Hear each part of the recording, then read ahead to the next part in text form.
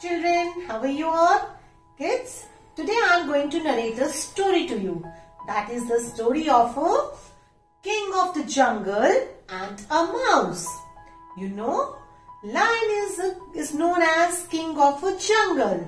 Once he was sleeping and a little naughty mouse was running around him.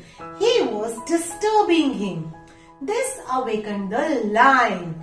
He got angry. He caught the mouse in his paws and told him, Oh little mouse, now I will eat you. The small mouse then requested him, Oh king of the jungle, please forgive me this time.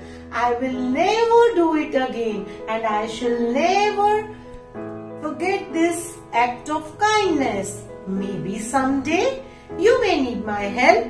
The lion laughed at him, ha ha ha, and told him, I need your help? Not possible.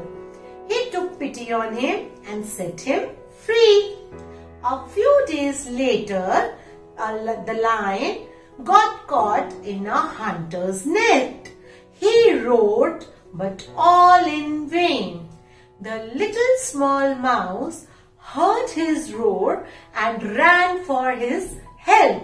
When he saw the lion in trouble, he thought this is the right time to pay back his favor and started cutting his net with his small tiny teeth. Soon the lion got free and he thanked the little mouse for his help.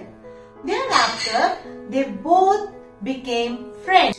So, the moral of the story is that the kindness is always repaid.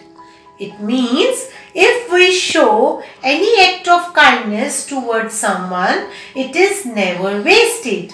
It will be repaid in one or the another manner. Thank you.